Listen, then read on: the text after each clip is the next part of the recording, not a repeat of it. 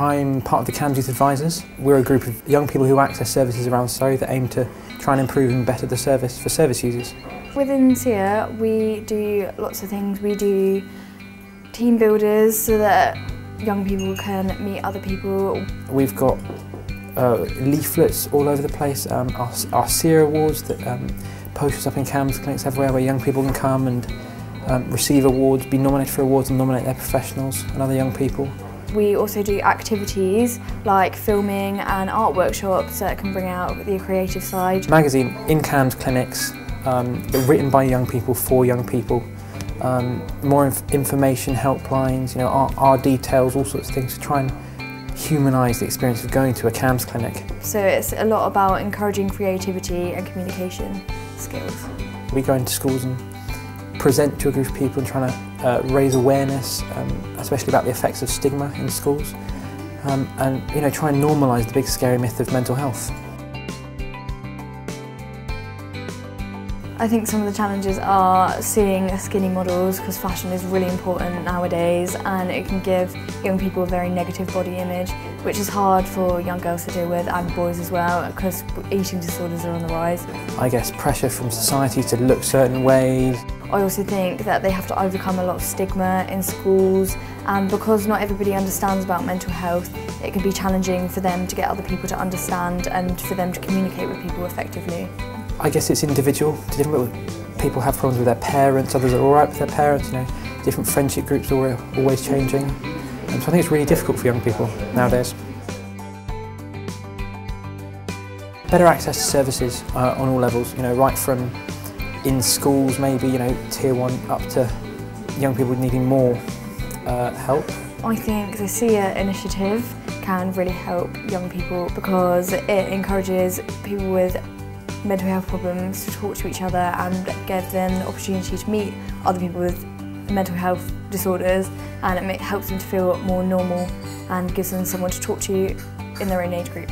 Well, the magazines that we do, the Our Voice magazines, are quite good because young people obviously like reading magazines, so it's an easy way for them to flick through and uh, get the information that they need in, in, a way that they find easy. Service user involvement is really key um, to helping young people recover um, and just talking about mental health in general. I think that they should have good communicative skills so that they can talk to their patients. I think they should be emphatic to understand what their patients are going through. Um, I think that they should be eloquent speakers and able to explain things fully so that their patients understand. They've got to be able to listen, that's really important. Um, and you know, empathise with young people on their level and engage them that way. Um, and not come at a position maybe from on high or whatever, just to, to listen and get to know the young person. I think they should be able to give young people time to speak and kind of to be approachable. That helps as well because it gives young people confidence to be able to open up to them and kind of share, share what they need to share. We spoke about uh, how young people who have accessed services getting involved in developing their services can help those young people and change their lives for the better. Um, and how at CYA we really think we've been able to do that with a number of young people um, and how we really hope to improve that in the future and make it more widespread. I think all of it's really interesting actually. Um, I love the first presentation talking a lot about you know education and um, the roles teachers and head teachers can play in um, emotional well-being of students and getting better grades and all that all the ideas that everyone said this morning are quite positive, but um, the time to change especially, um, all of the ideas that they have coming up uh, sound really good, like the pop-up ideas that they have in schools sounds really engaging. People identifying what was important to young people nowadays.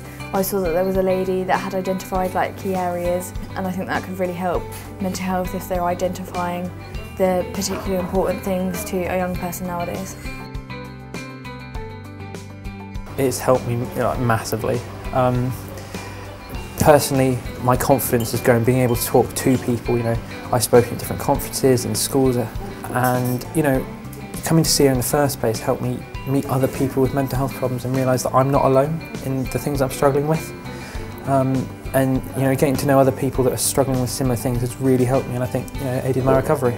Whenever I went to see it, it was really a positive experience for me because I was able to meet someone else with bipolar and it actually gave me reassurance that I had been diagnosed with the right thing and that other people went through it and they had the same kind of symptoms as me.